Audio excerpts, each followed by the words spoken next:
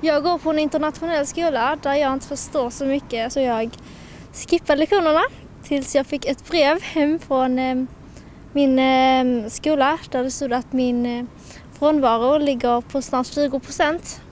Ja, enligt de gamla reglerna ska gymnasieskolorna rapportera till CSN om en elev är borta 20 procent av tiden under en månad. Och eleven riskerar då att få sitt studiebidrag indraget.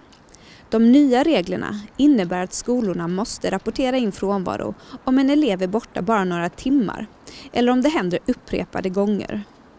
På Rönnowska skolan i Helsingborg, där man tidigare hade problem med skolkande elever, har man redan idag ett system där skolan skickar hem brev om en elev är borta 10% av tiden.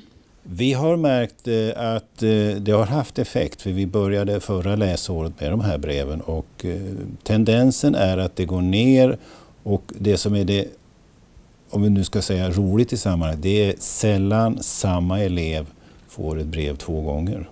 Två tredjedelar av de som fått sitt studiebidrag indraget blir återbetalningsskyldiga till CSN.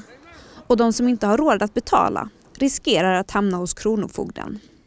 Per Hasselberg tror att de nya reglerna kan leda till att färre hamnar i den situationen. Om man uttrycker det lite vanvördigt, den som skolkar kommer att tjäna på det här för den kommer att upptäckas mycket tidigare och hinner kanske inte bli återbetalningsskyldig.